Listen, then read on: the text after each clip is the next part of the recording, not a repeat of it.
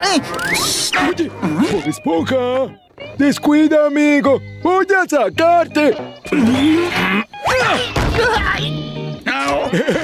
Lo siento. no quiero que me saques, Patricio. Estoy cumpliendo tu condena. Eres muy blando para la jaula.